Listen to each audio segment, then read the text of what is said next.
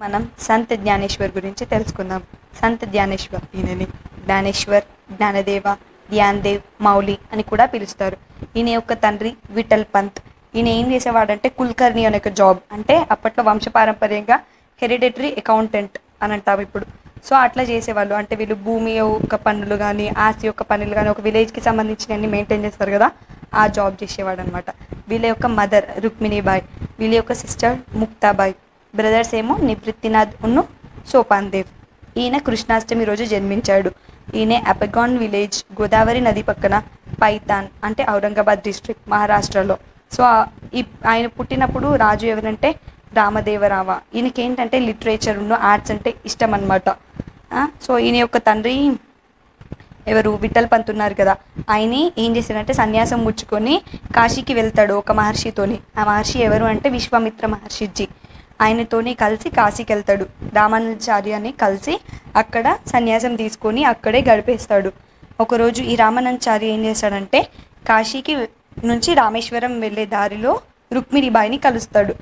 రామానంచార్య కలిసిన తర్వాత రుక్మిణిబాయితో మాట్లాడుతుంటే ఆమె తన యొక్క గురించి అంతా చెప్తుంది అనమాట చెప్పినప్పుడు ఆయనకి అర్థమైంది ఏంటంటే ఈ రామానంచార్యకి తన దగ్గర భావానందజీ అంటే ఎవరైతే విఠల్ పంత్ ఉన్నారు కదా ధ్యానేశ్వర్ వల్ల తండ్రి ఆయనే అక్కడికి వెళ్ళాక భావానందజీగా పేరు మార్చుకుంటాడు.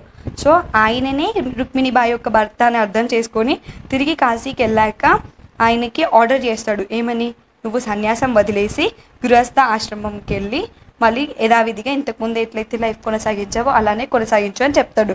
అట్లా భావానందజీ విఠల్ పంత్ వెళ్ళి మళ్ళీ రుక్మిణిబాయి దగ్గర నార్మల్గా లైఫ్ స్టార్ట్ చేశాడు. చేసిన తర్వాత పుట్టిన వాళ్ళే ఈ నివృత్తినాథ్ సోపాన్ దేవ్ ధ్యానేశ్వరును ముక్తాబాయ్. సో అట్లా ఉంటారనమాట తర్వాత వీళ్ళ వీళ్ళు బ్రాహ్మణులు కదా. ఏమవుతుంది మహారాష్ట్రలో ఎవరికి ఇది నచ్చదనమాట సన్యాసం నుంచి మళ్ళీ ఇట్లా చేయడం ఏంది ఈయనే? వాళ్ళ గృహస్థ జీవితం మొదలు ఏంటి? అని చెప్పేసి అంటారు. వీళ్ళని ఎవరు పట్టించుకోరు అనమాట ఊర్లో తరిమేస్తారు. ఏది అనరు అనమాట ఈ పిల్లలు కూడా ఎక్కడికి వెళ్ళినా కూడా వీళ్ళని మీ నాన్న అట్లా చేశాడు కదా ఇట్లా చేశాడు కదా అని ఊకే అడుగుతారనమాట అంటుంటారు. ఒకరోజు ధ్యానేశ్వర్ ఇది చాలా మనసుకి తీసుకొని ఇంటికి వెళ్ళిన తర్వాత ఇంట్లో గదిలో బంధించుకుంటాడు తనకు తానే అనేసి. అప్పుడు ముక్తాబాయి వెళ్ళి వాళ్ళందరూ లోకులు అజ్ఞానులు వాళ్ళకి తెలీదు. ఏ వేదాల్లో అలా లేదు. మనం వాళ్ళకి జ్ఞానం చెప్పాలి కానీ ఇలా చేయకూడదు అని చెప్తుంది. ఇది అర్థం చేసుకొని జ్ఞానేశ్వర్ అప్పటి నుంచి వాళ్ళ మాటలు పట్టించుకోకుండా ఆయన వేదాలు పురాణాలు అన్నీ నేర్చుకొని వాళ్ళకు తగిలేలాగా జవాబు ఇస్తాడనమాట తర్వాత ఏం చేస్తాడంటే అప్పట్లో కాలంలో ఏముండేదంటే ఈ భగవద్గీతలు ఇవన్నీ సంస్కృతంలో ఉండేవి. సంస్కృతంలో మహారాష్ట్రలో ఉన్న వాళ్ళందరికీ సంస్కృతం సరిగ్గా రాదు. అప్పుడు ఈయన ఏం చేసిందంటే మన భగవద్గీతని సంస్కృతం నుంచి మహా మరాఠీలో రాశాడు. దాని యొక్క పేరే జ్ఞానేశ్వరి. జ్ఞానేశ్వరి. ఈయన రాశాడు కాబట్టి జ్ఞానేశ్వరి అని పెట్టాడు. ఇంకా ఈయన కృష్ణుడి యొక్క భక్తుడు. కృష్ణుడి యొక్క భక్తుడిగా ఈయన చాలా రచనలు భజనలు గేయాలు పద్యాలు ఇవన్నీ రాశాడు. ఆయన రాసిన కొన్ని బుక్స్ల పేర్లు అమృతానుభవ అభంగస్ చంద్రదేవ ప్రశస్తి ఇలా చాలా రాశాడనమాట ఇంకోటి ఈయన స్టోరీలో రెండు అద్భుతాలు ఉన్నాయి అవి ఏంటి అంటే ఒకరోజు ఈయన వెళ్తుండగా ఒక సభ దగ్గర బ్రాహ్మణులు అందరూ కూర్చొని ఉంటారు.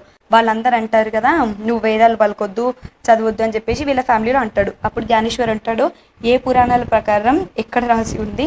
మేము వేదాలు ఎందుకు పలకకూడదు? మేము కూడా బ్రాహ్మణులమే కదా అని అంటాడు. అని అంటే ఎవరు పడితే వాళ్ళు చదవకూడదు పాడకూడదు ఆ, అనేసి చెప్తాడనమాట రాయకూడదు ఈ వేదాలని అని అంటాడు. అంటే దానికి మన ధ్యానేశ్వర్ ఒప్పుకోడు. ఒప్పుకోకుండా వాళ్ళతో వాదిస్తూ ఉంటాడు. అప్పుడు వాళ్ళు అంటారు కదా మీరు బ్రాహ్మణులు కాదు ఆ, మీరు చెప్పొద్దు ఈ గేయాలని అని అంటాడు. ఆ, మీరు జంతువులు కూడా ఎలా అయితే ఉన్నాయో వాళ్ళలాగానే అని చెప్తాడు. అప్పుడు ఆ- దానికి సహించను నేను వాటికి కూడా వచ్చు అని చెప్పేసి వేదాలు అంటాడు.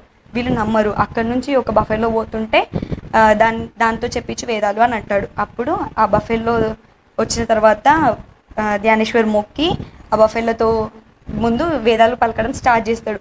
పలుకుతుండగా వీళ్ళు ఆపుతారు మీరు నీకు పలికే ఛాన్స్ లేదు వేదాలని పఠించకు అని చెప్తారు.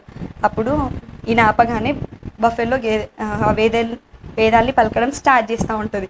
వాళ్ళందరూ షాక్ అయ్యి ధ్యానేశ్వర్ అన్న మాటలకి ఒప్పుకొని ఏమంటారు? పాదాభివందనాలు ఈయనకి చేస్తారు. ఇంకొక అద్భుతం ఏంటి అని అంటే ఒకరోజు ఒక మహర్షి తను ధ్యానం తీసుకుని సంపాదించిన ఒక పవర్ ఏంటి అంటే ఆయనకి ప్రాణం ఉన్న ఏ జీవినైనా కానీ వశం చేసుకొని తను చెప్పినట్టు మా మార్చుకోగలే పవర్ వస్తుంది అనమాట అప్పుడు ఆయన ఏం చేస్తాడంటే ఒక టైగర్ని తీసుకొని వశం చేసుకొని అది తన మాట వినేటట్టు ఊరంతా ప్రచారం చేసుకుంటాడనమాట టైగర్ మీద ఎక్కి ఊరంతా తిరుగుతూ ఉంటాడు. అప్పుడు ఇది జ్ఞానేశ్వర్కి తెలుస్తుంది. తెలిసిన తర్వాత జ్ఞానేశ్వర్ ఏం చేస్తాడంటే ఒక గోడ మీద కూర్చొని ఉంటాడు వాళ్ళ అన్నదమ్ములతోని చెల్లెతోని. కూర్చొని ఉంటాడు. అదే గోడని అట్లనే లేపి ఈ ఎవరైతే ఈయన ఊర్లో తిరుగుతున్నాడు కదా టైగర్ మీద ఆయన దగ్గరకు వచ్చేస్తాడు. వచ్చేసి అక్కడ నిల్చుంటాడు. అప్పుడు ఆ మహర్షికి అర్థమవుతుంది అనమాట ఆయనకి జ్ఞానోదయం అవుతుంది ఆయన ఏమంటాడనంటే నేను ప్రాణం జీవం ఉన్న ప్రాణులన్నిటితోనే వశం చేసుకొని తను చెప్పినట్టు నడుపుకోగలుగుతాను. కాకపోతే నువ్వు ఈ గోడని ప్రాణ ప్రాణం లేని గోడని తీసుకొని వచ్చావు. సో ఇప్పుడు నాకు అర్థమైంది. అంటే దీన్ని బట్టి మనకి ఏం అర్థం అవ్వాలి అని అంటే ఎప్పుడైనా కానీ మనకి ఏదైనా పవర్స్ ఉన్నప్పుడు మన దగ్గర పవర్స్ ఉన్నాయి మనకు అన్ని తెలుసు అని అనుకోకూడదు అని నాకు అర్థమైంది.